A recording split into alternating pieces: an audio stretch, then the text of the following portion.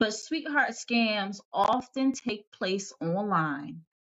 starting on dating websites or social media platforms where they have set up fake identities.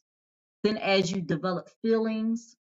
the fraud moves to emails or texts to your personal phone. They convince you that they are in love with you and you are in a deep, committed relationship. Let me tell you something, y'all. This is the stuff that makes me scared because, okay, I know I mentioned like people being vulnerable after they've lost a loved one, but also there's also people that are going through divorce that are older that feel like they they want to jump back into the dating pool and these people are lurking they're lurking they're looking for you